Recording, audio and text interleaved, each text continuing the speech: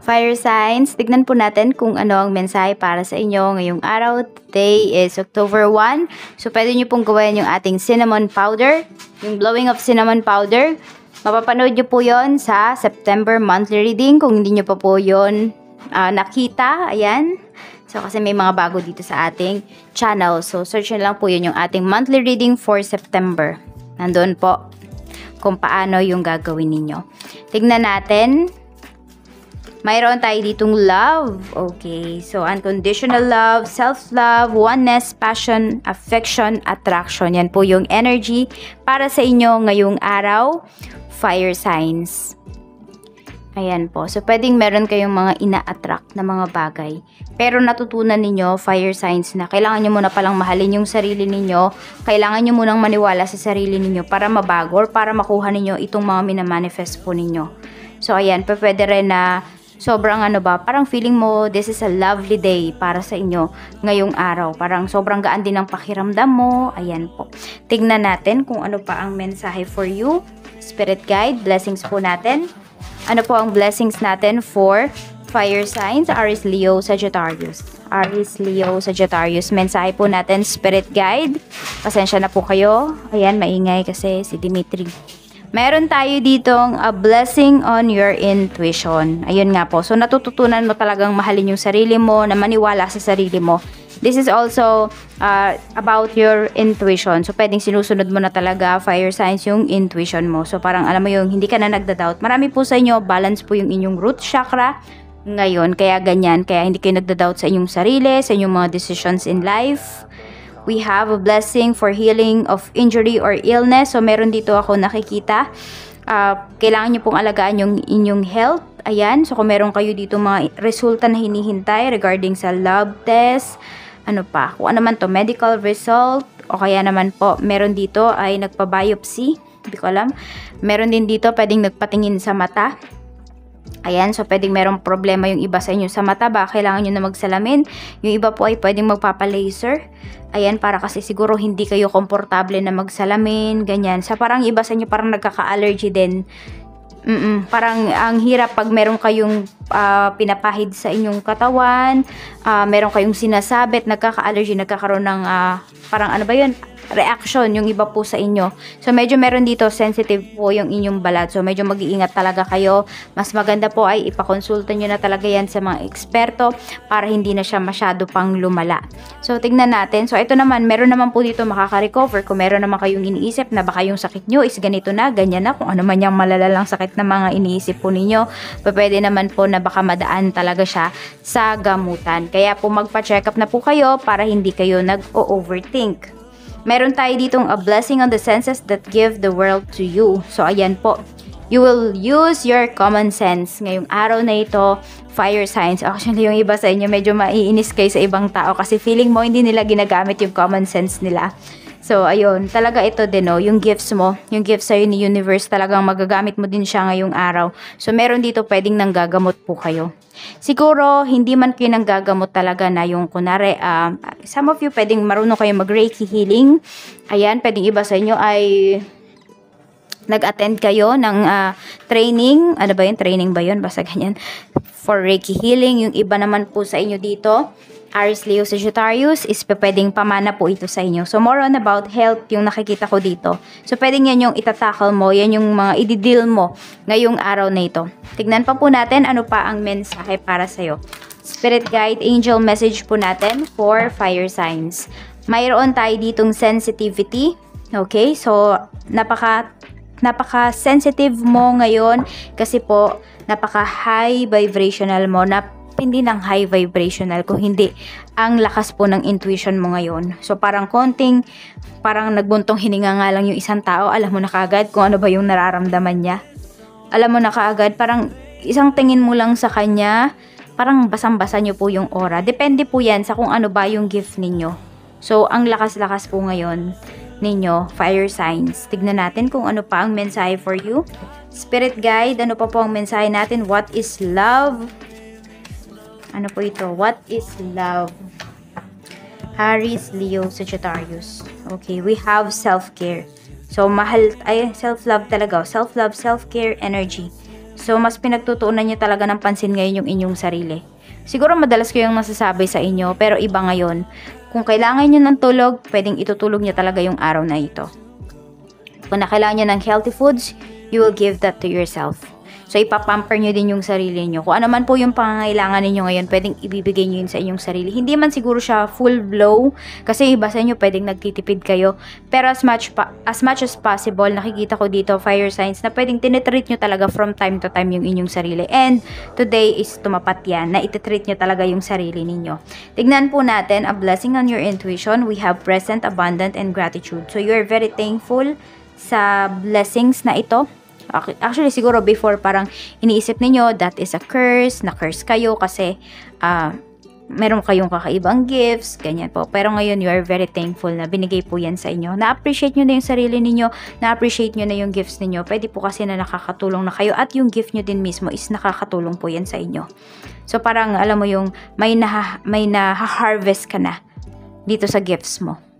Tignan po natin a blessing for healing. We have masculine, so talagang lumalaban talaga, palaban talaga yung energy ninyo. Ayan po, so pwedeng, kung ano man yung fears ninyo, yung takot po ninyo, pwedeng haharapin nyo na yan ngayong araw. So baka meron dito kaya di kayo nagpapacheck up, takot kayo, ay parang ayaw nyo nung amoy ng hospital, ng clinic, ayaw nyo nakakakita ng mga uh, karayom, ayan po. So, parang i-face mo talaga yon para malaman mo, para magkaalaman na ano ba talaga yung nararamdaman mo, ano ba yung mga nakakapa mo sa iyong katawan. We have change, ayan, a blessing on the senses that give the world to you. So, pwede po na ito.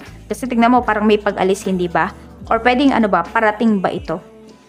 Sabi ko nga po, 'di ba, maiinis ka ngayon sa mga tao na hindi ginagamit yung common sense nila.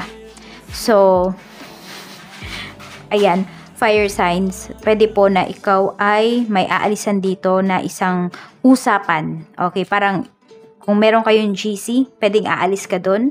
Or pwedeng meron kang isang tao dito na hindi mo muna re-replyan kasi parang napaka-obvious naman ng mga tinatanong niya sa'yo pero tinatanong niya pa rin sa'yo.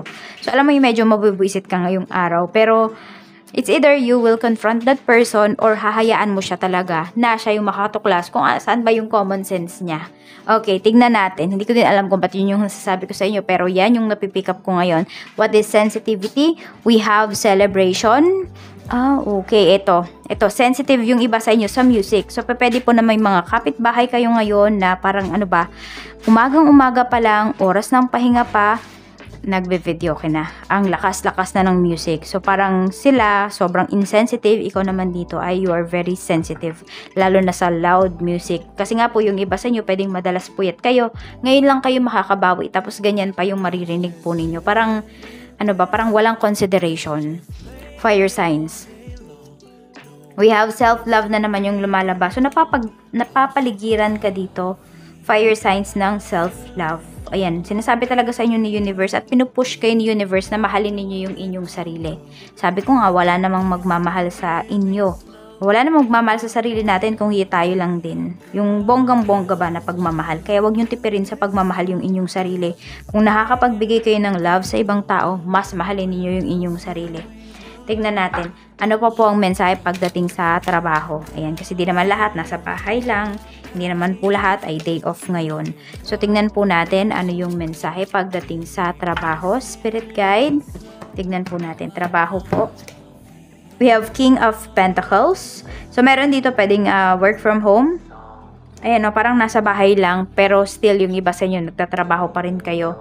Pwede, meron ako nare-receive dito na message or call, baka po tatawag sa inyo yung boss ninyo, or could be your manager or coworker. So, parang alam mo yung nagre-relax ka, tapos yan. Tapos papatawag ka. So, parang pwede naman kayong tumanggi actually. Pero para kasing ikaw yung unang may isip nung boss mo or nung manager mo, ayan, dito sa papagawa niya sa'yo na to. So, nasa sa'yo naman kung tatanggapin mo to. Ayan po. Tingnan natin. Kasi parang ikaw lang din kasi yung pinagkakatiwalaan dito. Uh, fire signs or pwedeng alam nila, alam ng boss mo na ikaw lang yung makakagawa nung papagawa niya na yun. Kaya ikaw talaga yung una niyang kukontakin dito. We have Ace of Pentacles. Pagdating naman po ito sa inyong negosyo. So, ayan, pagdating sa negosyo, nakikita ko dito, maganda yung flow ng money. Maganda yung um, ano ba, yung, yung benta ninyo. Pero pwedeng walang natatabi. pwede po na puro palabas. Hindi ko alam kung puro sa utang ba galing yung puhunan ninyo.